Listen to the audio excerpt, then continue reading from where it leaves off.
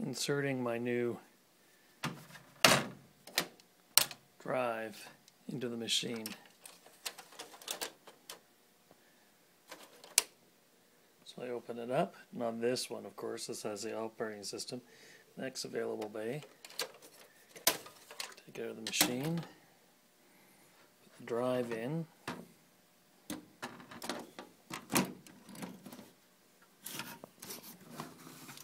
snap it in place.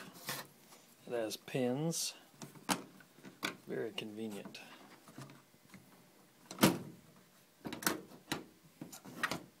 Hard to do with one hand though, not meant to do with one hand.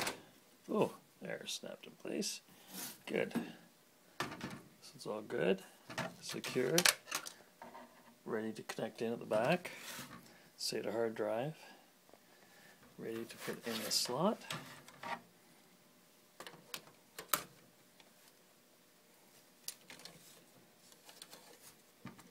Stick it in.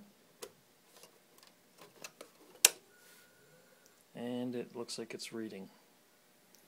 And I close and I go upstairs and wait for the instructions to appear.